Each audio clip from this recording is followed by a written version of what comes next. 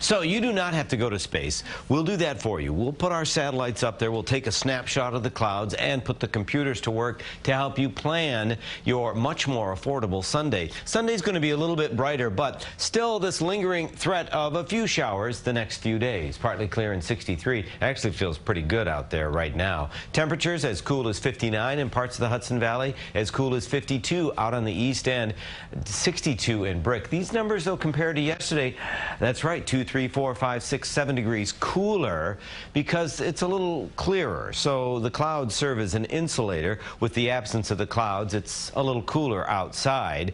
Um, now today, again, just 69, 10 degrees below normal. There were some readings in the 70s, even Newark, LaGuardia, JFK, all warmer than the park, but still everybody a little on the cool side. So it was a repeat high of just the 60s today. Nice bounce Sunday, and then we continue to heat Monday. And next week is going to be a warmer week. What's interesting, though, with the higher humidity, better chance of a storm Monday. But, boy, it's going to feel really comfortable Wednesday into Thursday. Scanning the skies, not a whole lot to share and show right now.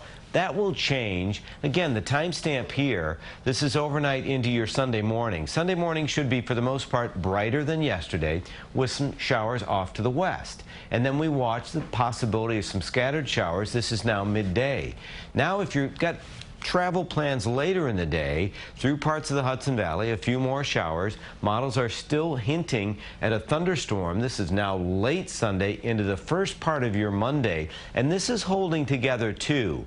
Remember at, at 6 we were showing you a bullseye thunderstorm. Again, this is early for the commute on Monday morning. Could be a bit of a hiccup and a headache. This is through the day on Monday, on and off, more off than on. But by Monday night, with that extra humidity and those warmer temperatures, you still have a 60% chance of a shower. And then it's a nice break Tuesday into Wednesday. Tomorrow, 75. Just want to remind you, still that moderate rip current risk if you're going to the beach. Lightning risk, none, but watch out for those waves. So UV index is going to be higher. Make sure you have the sunscreen on as well. And then, hey, make your plans now. Let's go to the beach Wednesday, Thursday, Friday. That's going to be some nice summer-like weather with better conditions. Just watch out for a stray shower tomorrow. Jessica? All right. Not ready to put the umbrella away just yet. Sorry.